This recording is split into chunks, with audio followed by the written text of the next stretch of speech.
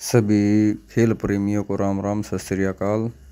आज बहुत दुख की घड़ी है भाई। पाला माला को सट लग गई है भाई पैर में। उसके लिए भगवान से प्रार्थना करो, वाहेगुरु से अरदास करो भाई। वो जल्दी स्वस्थ हो, जल्दी ही हमें वो खेल ग्राउंड में खेलता हुआ मिले। आप सभी से हाथ जोड़ कर विनती है भाई भाई के लिए प्रार्थना करें। देखो भाई को कैसे सट लगी, कैसे चोट लगी।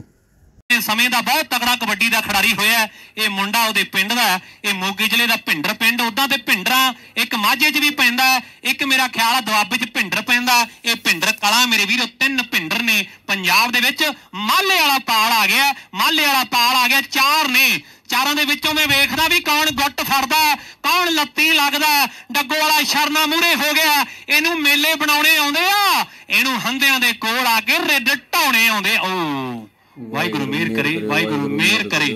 ਰੱਬ ਮਿਹਰ ਕਰੇ। ਤਾਲ ਠੀਕ ਹੈ ਬਚ ਗਿਆ। ਪਾਲ ਠੀਕ ਹੈ। ਦੁਆ ਕਰੀਏ ਇਸਕਾ ਤਾਲ ਭਾਈ ਦੱਸੀ ਤਾਲ ਠੀਕ ਹੈ।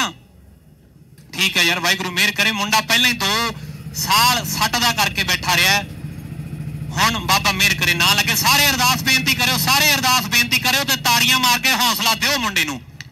ਲੈ ਵੀ ਪਾਲ ਕੋਈ ਗੱਲ ਨਹੀਂ ਚੋਬਰਾ ਇਹ ਦੁੱਖ ਲੱਗਦਾ ਮੇਰੇ ਵੀਰੋ। ਜਦੋਂ 2 ਸਾਲਾਂ ਤੋਂ ਬਾਅਦ ਤੁਸੀਂ ਆਪ ਸੋਚ ਕੇ ਦੇਖੋ ਵੀ ਕਬੱਡੀ ਖੇਡੀ ਨਾ ਹੋਵੇ, ਖੇਡਣ ਲੱਗੇ, ਫਿਰ ਇਹੋ ਜਿਹਾ ਚਾਂਸ ਹੋ ਜਾਵੇ ਤੇ ਮੁਸ਼ਕਲ ਹੋ ਜਾਂਦਾ ਵਾਹਿਗੁਰੂ ਮਿਹਰ ਕਰੇ, ਪਾਲ ਠੀਕ ਹੈ। ਮੈਨੂੰ ਤਾਂ ਲੱਗਿਆ ਸੀ ਵੀ ਜ਼ਿਆਦਾ ਹੋ ਸਕਦਾ, ਪਰ ਵਾਹਿਗੁਰੂ ਮਿਹਰ ਕਰੇ।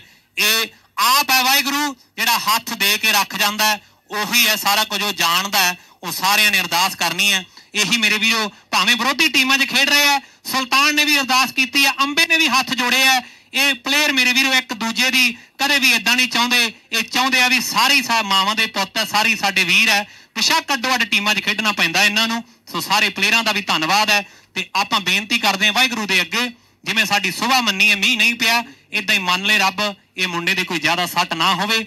ਲੁੱਟਿਆ ਜਾਊਗਾ ਅੱਜ ਜਾਂ ਕੱਲ ਲੋਕੋ, ਧੱਕੇ ਚੜ ਗਿਆ ਜੋ ਵਪਾਰੀਆਂ ਦੇ। ਉਹਨਾਂ ਫੁੱਲਾਂ ਦੀ ਰਾਖੀ ਕੌਣ ਕਰਦਾ?